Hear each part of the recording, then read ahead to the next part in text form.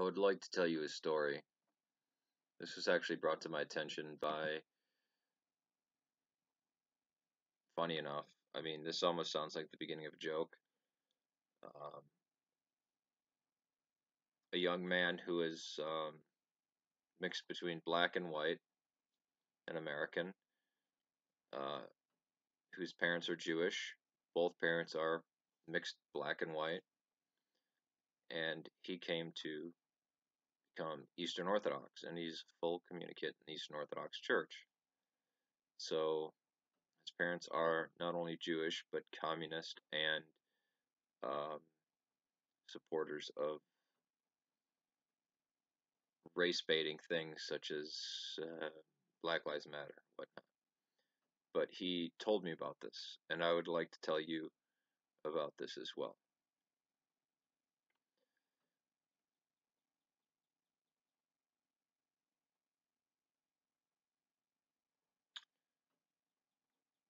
In the 20th century, um, since the Israeli occupation of the West Bank, Jacob's Well has been a site of contention between Christians and Jews. This is not true, but you'll see what happened. In November of 1979, a time of increased tension on the West Bank, the custodian of the well, Archimandrite Philoumenos, was found hacked to death inside the crypt housing the well. The assailant, a mentally ill resident of Tel Aviv, was apprehended three years later and confessed to the slaying, and others included an assault in an assault on a nun at the monastery, and the axe murder of the Jewish psychiatrist in Tel Aviv.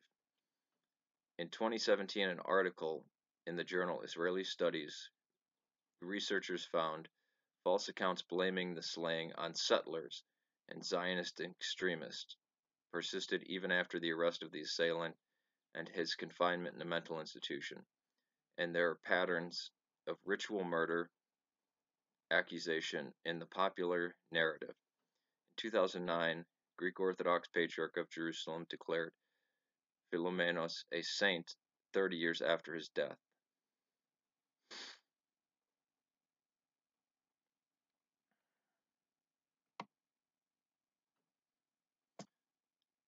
Avuna, meaning father, Eustinos, a well-respected Greek Orthodox priest and novelist, later spearheaded a huge reconstruction project. Jacob's Well has since been restored, and a new church modeled along the design of the Crusader-era church houses the well inside and the crypt on the lower level. This is not true. Let me tell you the actual story.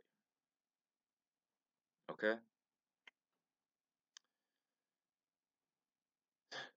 Jewish settlers, and it was settlers, came along and said to um, to this martyr, you know, Archimandrite Philoumenos, uh, and they said, "Get off, get off our holy land," you know, because it's Jacob's well. It's holy to uh, Jews, Christians, Muslims, and Samaritans, and I would think uh, Mandaeans as well.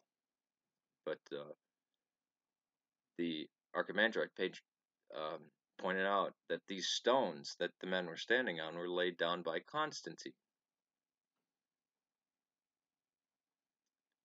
And so they went away, and as he was performing uh, the rites of the liturgy, they came back with an axe and hacked him to death. Now, to say that it was just um, one mentally ill man I don't know who is censoring. Uh, well, it could have been. It could be anybody who's censoring Wikipedia. We don't need to go into grand conspiracy theories on you know, you know, is it Mark Zuckerberg or is it this or is it that? But it's um, it's quite clearly um, this story has been changed from a group of Hasids to one mentally ill man. No, it was a group, and we know. I mean, many of you may know about the uh, the van that the Israeli um, police force uh, found in front of an all girls um, Maronite school, all girls Catholic school, because the Hasids wanted to blow up a bunch of Arabs. Again, they do not care that if they're Muslim, right? If these Zionists, these, these fanatical Zionists were only going after Sunni Muslims, radical Sunni Muslims, that could be understood.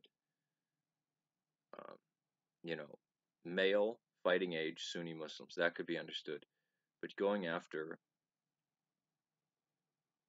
Christian girls, I mean, under the age of 13, when they're in school, this is despicable just because these people who have not even been there, um, whose whose ancestors have come from Poland and Lithuania, and they are the first, second, or maybe possibly third generation to live in um, Canaan, and yet these girls, who their family possibly date back to the um, have blood of the the Pharisees and the Sadducees and the Zealots in them, because they've always been there and these uh, these Ashkenazid uh, Hasids want to kill them.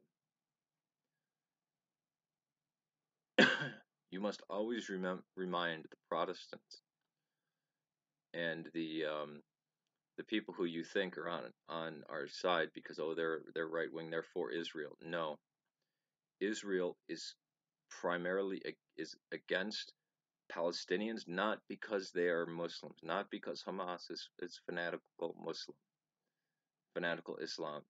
They hate them because they hate them. They hate them because they're Palestinian. If they were able, they would tear down the Church of Holy Sepulchre. They would destroy the Church of Nativity. They would utterly annihilate St. Mary's on Mount Zion they would destroy the arches on um, Mount Moriah. So do not be fooled. The uh, the Zionist and there there there's Rabbi Shapiro, not Ben Shapiro, but Rabbi Shapiro, who is an anti-Zionist. Excellent man. Yoel and Mindy, my friends, who I've not been able to talk to in years, anti-Zionist, they're Orthodox Jews. It is not about being anti-Semitic because those Maronite girls are 100% Semites and those Ashkenazid Jews are not Semites at all. What the Israeli learned from World War II was do it to them before they do it to you too. You. And um, that uh,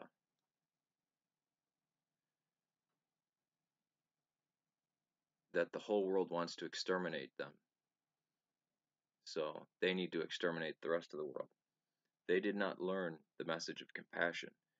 And also, they have been teaching their children that the worst, the worst, most horrific thing ever done was the Holocaust, was the Shoah, was the Holocaust, which was only perpetrated against the Jewish people in Europe.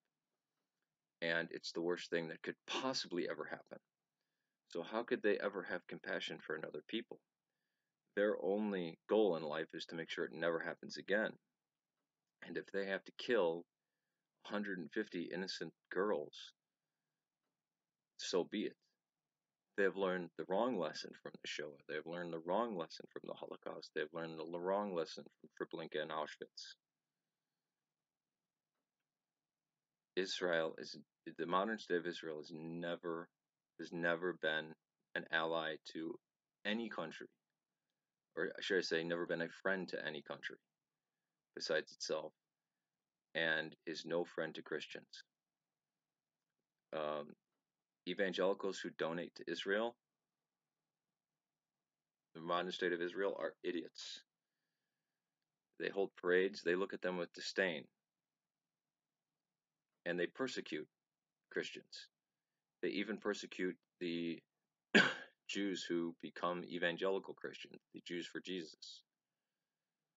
Um, there's footage of how they treat indigenous Arab Christians, throwing rocks at them. Peace to you. This is the truth.